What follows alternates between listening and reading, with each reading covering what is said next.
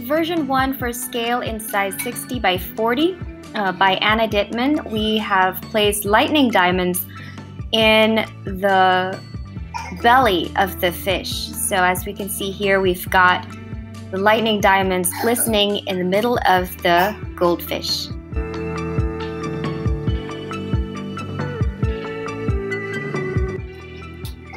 And for version 2, we have now added electric diamonds to some parts of the fins of the two goldfish that we see.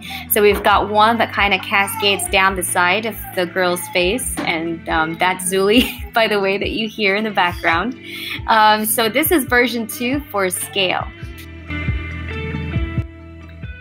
So finally for version 3, it's basically a combination of version 1, version 2, and now adding red crystals to the head of the goldfish. So we can see there's this area here that is shimmering in red beads. Those are the red crystals that we've added. And this is version 3 for scale.